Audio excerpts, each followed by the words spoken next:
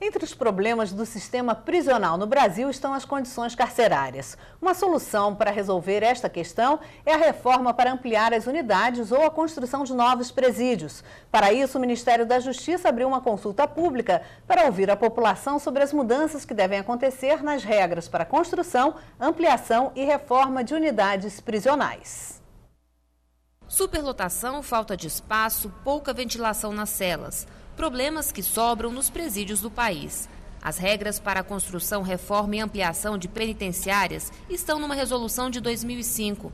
Por isso, uma comissão formada pelo Conselho Nacional de Política Criminal do Ministério da Justiça, pelo Departamento Penitenciário Nacional e o Conselho de Secretários de Estado de Justiça está propondo uma revisão dessas normas. E para viabilizar as mudanças, foi aberta uma consulta pública. Um aspecto principal é essa capacidade de insolação e ventilação que precisa ser garantida dentro dos estabelecimentos prisionais. Outro problema grave é, que a gente precisa contemplar nessa diretriz uma mudança é a garantia de espaços para educação, trabalho é, e saúde, que também é, não estão garantidos em todos os lugares hoje da federação. Então, essas questões fazem com que o ambiente da prisão se torne muito mais tenso do que é, ele já é e acabam também fazendo com que as pessoas que vivem lá dentro ou adoeçam ou é, é, destruam o ambiente por não ser adequado à necessidade humana.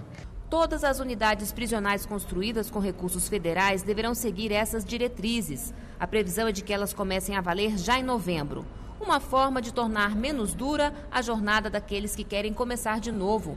É o caso de Juliana, que, mesmo presa, tem a oportunidade de estudar e trabalhar. Se eu não completar, terminar os meus estudos aqui dentro, eu quero terminar meus estudos na rua e procurar um emprego.